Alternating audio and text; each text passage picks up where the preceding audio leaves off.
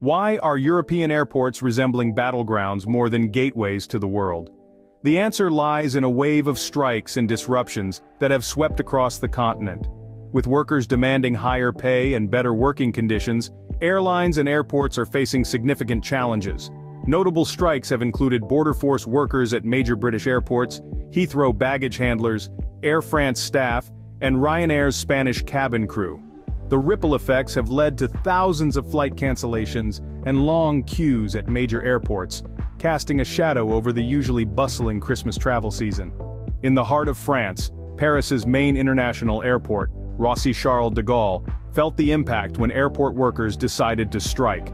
Rising living costs and inflation brought about this industrial action, leading to the cancellation of about 10% of flights. Despite the airport operator ADP proposing a 4% pay rise, workers stood their ground, demanding a net increase of 300 euros per month. The strikes didn't stop there. As autumn leaves began to fall, disruptions continued. Paris metro workers threatened to strike during the Rugby World Cup, and London's Heathrow Airport saw further action from baggage carousel workers. English rail operators were also hit with strikes causing a ripple effect across the country's transport network. The travel industry, demonstrating its resilience and innovation, has been busy developing new ways to enhance the travel experience. One notable example is Google's Bard AI service.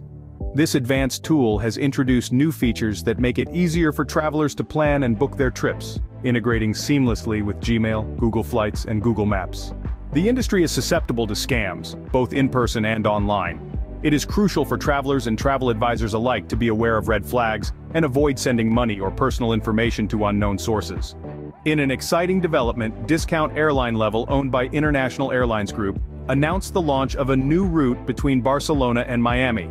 This service, which will run three times per week, marks Level's fifth U.S. destination, further expanding its footprint in the competitive airline industry. Despite these advancements, the future of European travel remains uncertain, the European Travel Information and Authorization System and the Entry-Exit System, initially set to launch in the coming years, have been postponed. The new operational date for ETS is now slated for 2025, adding to the list of uncertainties facing the travel industry. The recent travel disruptions in Europe have highlighted the pressing issues facing the airline industry. From strikes to rising living costs, these challenges have led to significant changes in the way we travel. Yet, with the advent of new technologies like Google's Bard AI and the expansion of airline routes, there are reasons to be optimistic about the future of travel. However, with potential government shutdowns and the delay of crucial travel systems, it is clear that the road ahead is far from smooth. Nonetheless, the resilience and innovation displayed by the industry suggest a promising journey ahead.